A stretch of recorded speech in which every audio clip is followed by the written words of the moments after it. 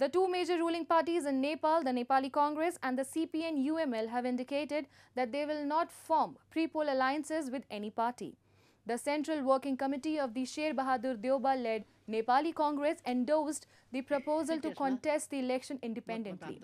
Earlier, Prime Minister KP Sharma Oli, CPN UML also decided against forging electoral alliances with other communist forces. During a meeting this week, UML chairman Oli clarified that even though his party is currently in an alliance with the Congress, there won't be any alliance. He said, as the Nepali Congress has decided to contest the upcoming elections on its own, it's time for us to do the same.